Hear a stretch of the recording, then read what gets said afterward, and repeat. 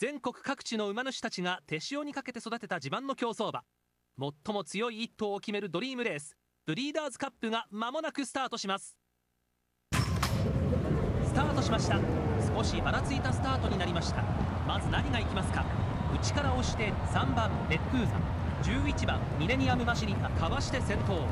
その後は8番フォーマンエマス4番セレスティアル好位につけています。外から13番スカーレットキング。各馬1コーナーに入っていきます。1番人気9番引くとこ引きます。この位置。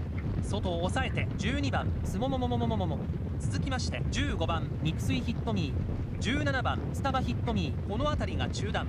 そのうち2番マンゴーヒットミー。3馬身相手10番ホワイトエース。これから向こう上面に入ります。少し差が開いて1番スタコラサッサ。外から6番カタールメリッサ。続きまして14番鍋のマーサ 1000m の通過タイムは1分2秒0内から7番クライフターン。続きまして18番リークメジナ。それから5番森の光王。最高峰16番オマーンコなめたい。冬の東京競馬場を駆け抜けます。ここから先頭までは10馬身以上。先頭はフォーマンエマス後ろに11番ミレニアムマシリカ。4番セレスティアル好位をキープ。1馬身相手13番スカーレットキング18頭大欅の向こうを駆け抜けます。1番人気引くとこ引きます。ここからどういった競馬を見せるのか。1番人気引くとこ引きます。現在5番手長い府中の直線 500m に入ります。歓声が大きくなって直線の攻防。